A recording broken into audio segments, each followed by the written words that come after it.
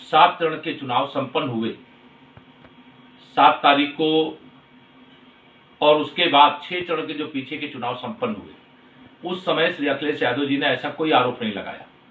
सात चरण के चुनाव के बाद जो अलग अलग चैनलों, एजेंसियों के माध्यम से एग्जिट पोल आए, जिसमें भाजपा एक बार फिर से बड़े बहुमत के साथ सत्ता में वापसी कर रही है, उसके बाद उनके गुंडे, उनके अपराधी, उनके तथाकथित गठबंधन, कहूँ गठबंधन करने वाले, जो उनके साथी सहयोगी हैं वो सब बौखलाए हुए। और उनके आरोप निश्चित तौर से माहौल को खराब करने की कोशिश है। श्री अखिलेश यादव जी, मैं आपसे कहना चाहता हूँ धैर्य रखो, दस तारीख को मतगणना होगी। और मतगणना के बाद जो भी ईवीएम मशीन के अंदर जनता ने अपने मताधिकार का प्रयोग करके भेजा होगा, वो सामने आ जाएगा। किसी अधिकारी के ऊपर आरोप लगाना आयोग के ऊपर आरोप लगाना यह शोभा नहीं देता है।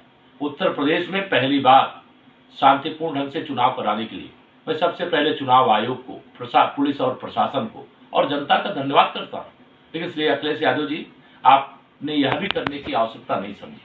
आपने लोकतंत्र को बचाने के लिए आखिरी बार, आखिरी चुनाव बताया और इसके खिलाफ क्रांति करने की बात कही। अरे, परिवारवाद की राजनीति करने वाले श्री अखिलेश यादव जी, भारतीय जनता पार्टी लोकतंत्र की रक्षक है परिवारवाद से बचाने की रक्षक है गुंडों, अपराधियों, माफियाओं से बचाने की की कोशिश किया है। इसके कारण आज उत्तर प्रदेश का एक अच्छा माहौल है।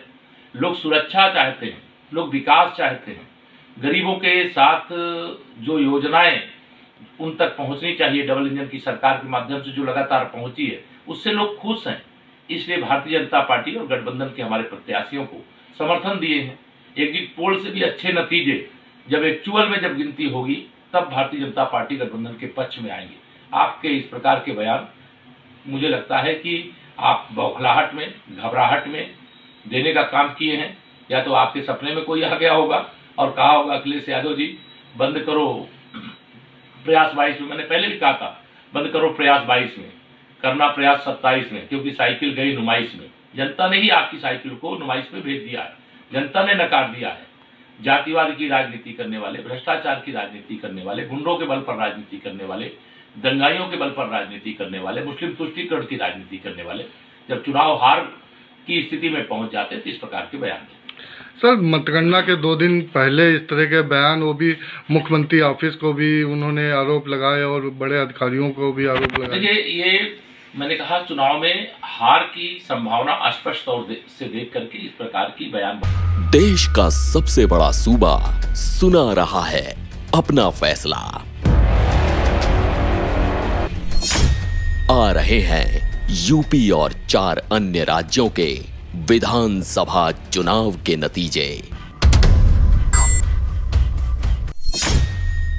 इन नतीजों से जुड़ी हर बात सटीक विश्लेषण आप तक पहुंचेगा। 10 मार्च को दिन भर जुड़े रहिए नवभारत टाइम्स ऑनलाइन के साथ।